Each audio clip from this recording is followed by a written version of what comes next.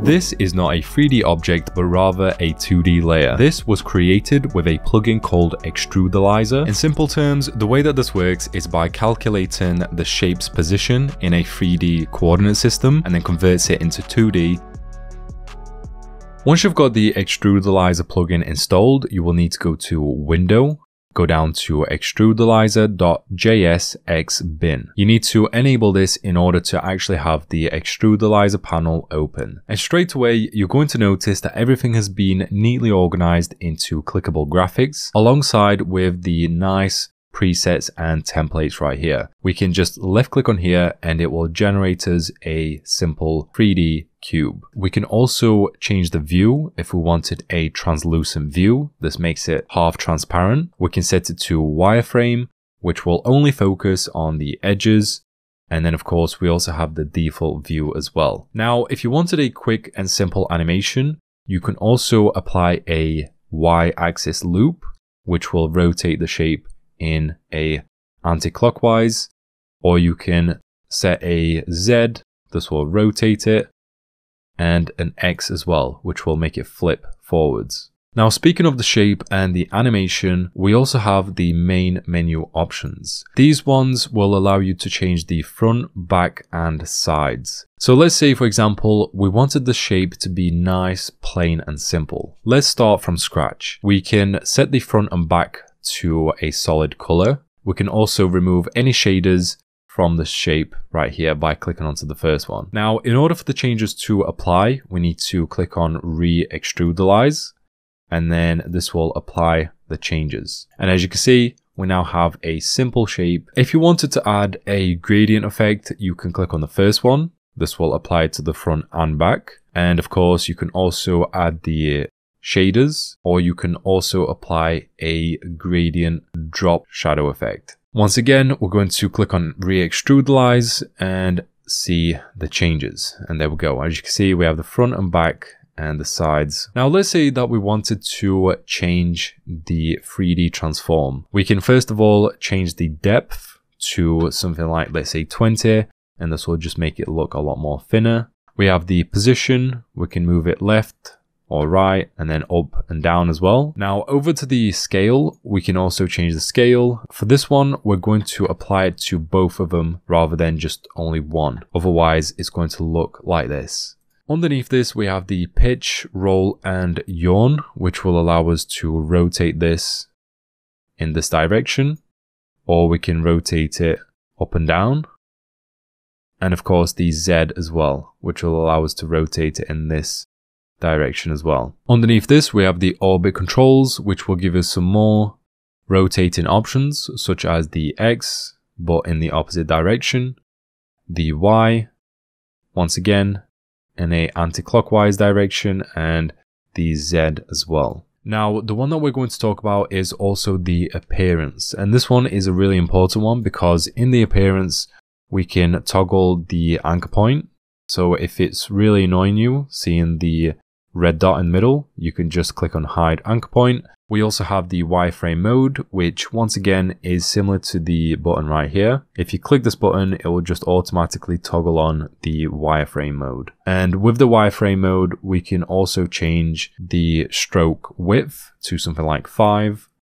We can also apply a bigger depth, let's say over 100. We can then go back into the appearance and also change the edge color of the stroke. Now, if your shape wasn't a wireframe, you can also apply the transparency right here and set this to, let's say 50.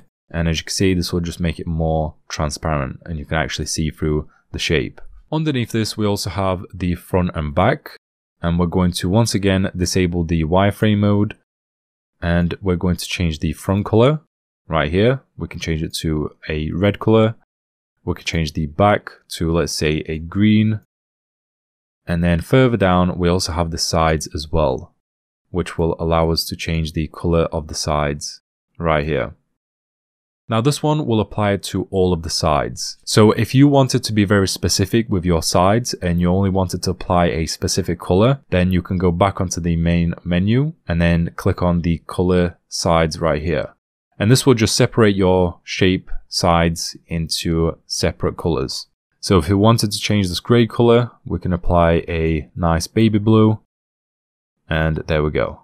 Now, another great thing about this plugin is that you can also turn any custom shape you wanted to into a 3D shape. What we would do is we would get ourselves the shape tool. We're just going to get ourselves a normal rectangular tool and just simply left click, drag this out and get yourself a shape. We're going to press Control Alt and Home and we're going to center align the shape in the middle of the screen. We're also going to get ourselves a roundness of, let's say 25 just to nicely round off those edges. In order to turn the shape into a 3D shape, we need to open up Rectangular 1 and we're going to right click on here and convert to Bezier path. Once you've done that, we can select this and then we can click on the extrude You can click on proceed and toggle and there we go. We now have this phone right here. At the moment, you may not notice much. It just looks 2D up until you go into the 3D transform and then you change the Y. You can see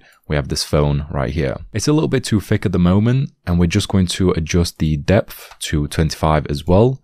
Just make it a little bit more thinner and there we go. Currently, there is a little problem with the edges. And if we zoom in, you can see they are visible at the moment, which isn't supposed to happen, but this will be fixed. And also going back to the previous settings, the Bezier one, this is exactly what this does right here. If you have a look at it right now, it's set to five.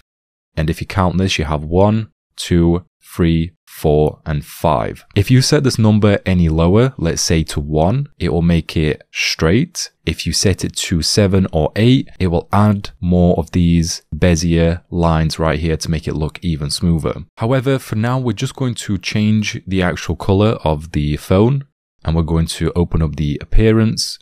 We're just going to open up the front and back and set this one to a black color. Same goes for the front as well and of course the sides as well.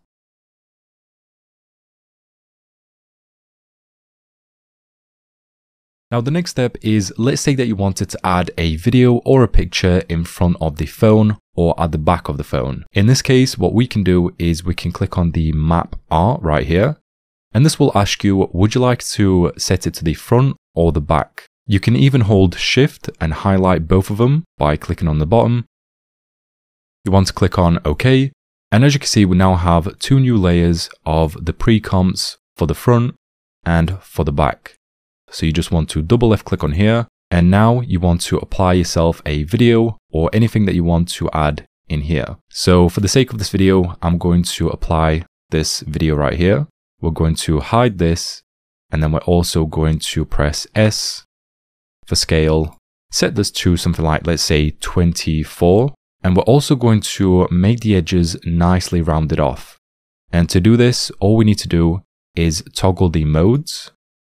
We're going to click on the track matte and set this to the second one. Now, sometimes it will disappear, like in this case.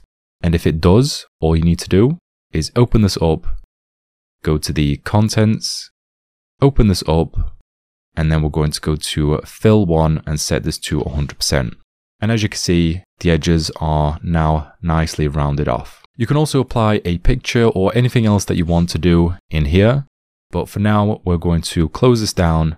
And as you can see, we have the video right here. Now, straight away, you will notice if the phone flips or moves, if we rotate the phone, it won't really apply the changes. So you need to make sure that you tick this checkbox right here, and this will actually pin it onto the phone. And whenever you change the shape, it will apply onto here. We're going to just mute this and same goes for the back. We're just going to open this up and for the back, we're just going to apply, let's say a logo. We're going to enable the transparency mode and just press S for scale. Set this to something like 10. And we also want to hide this layer right here because as you can see, we have those really thin lines. We're going to close this down and once again tick this button right here.